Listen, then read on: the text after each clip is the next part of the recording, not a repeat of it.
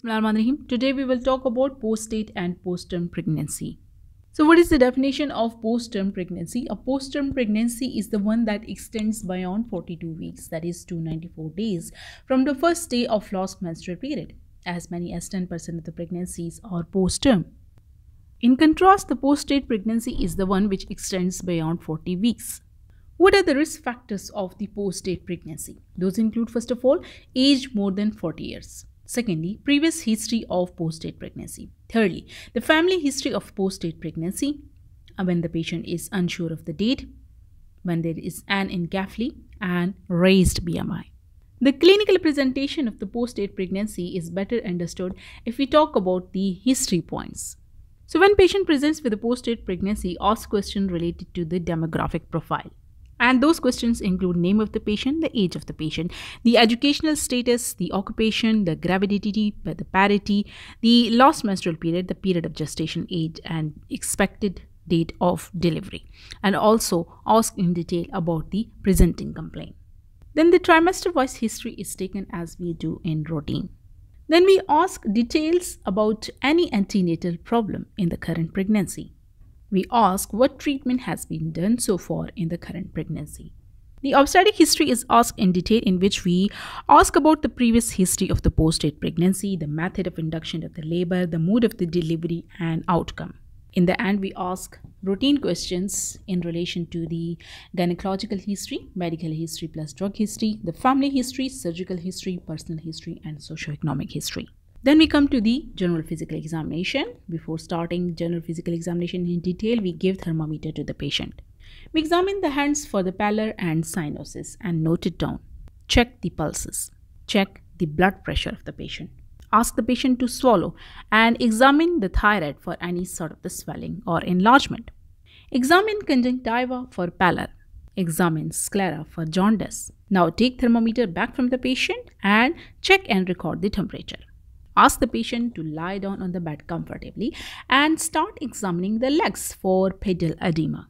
Now cover the legs and chest of the patient with appropriate sheet and do routine obstetric examination in which we check the fetal heart sound, exclude IUGR, assess liquor volume, estimated fetal weight, and check the abdominal wall edema and right upper condylar tenderness and also check the fundal height.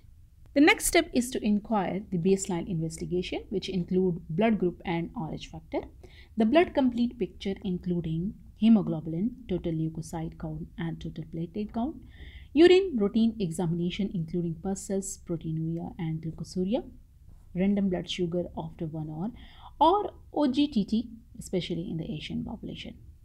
HBS antigen plus anti-HCV plus anti-HIV antibody test. After that, we go for the fetal test in which we do first of all the dating scan to know about the exact period of gestation. Then we check the anomaly scan for any sort of anomalies. We check the recent obstetrical ultrasound in order to check the uh, fetal biometry, liquor volume, placental localization, and fetal position. Then we check the latest CTG. If not done yet, then we do it.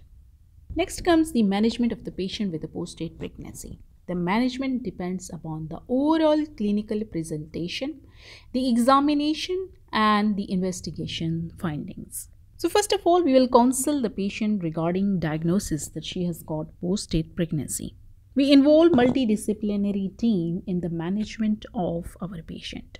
We explain the fetal maternal risks associated with a post-date pregnancy. The maternal risks include the risk of fetal macrosomia, induction of labor, and operative vaginal delivery.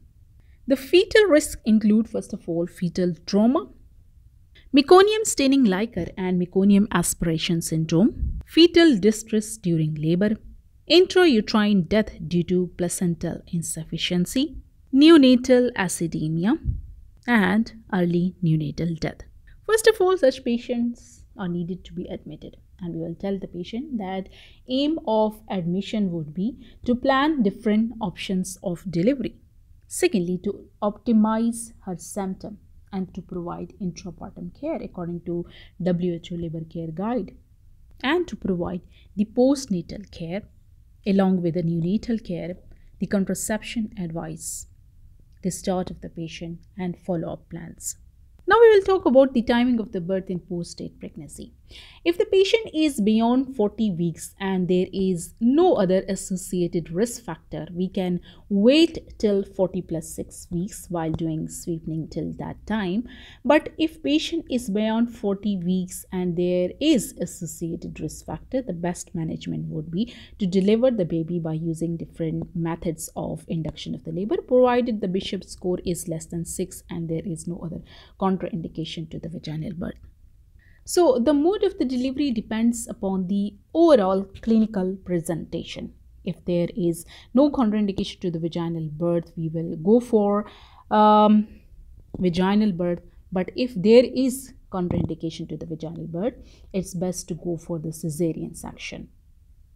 Now, in case we plan the vaginal birth and the bishop score is less than 6 then we will discuss the different methods of induction of the labor with the patient if the bishop score is 6 or more we will simply augment the patient with the syntocinon and before that we will do ARM. So ARM plus minus syntocinon would be the best option in her case.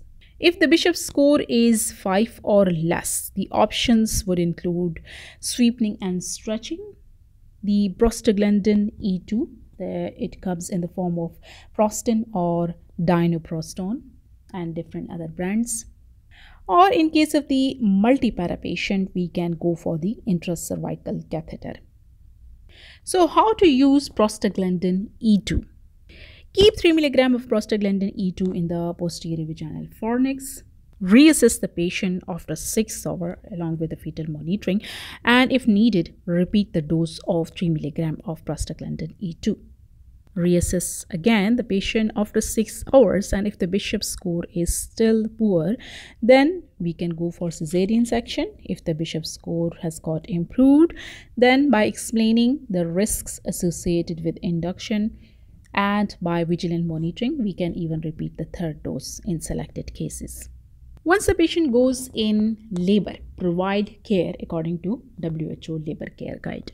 And you can find the link of WHO Labor Care Guide in the I button in the top right corner of this video. Provide appropriate postnatal maternal monitoring. Discuss the different options of contraception with the patient. Now, when can the patient be discharged? That depend upon overall clinical presentation of the patient.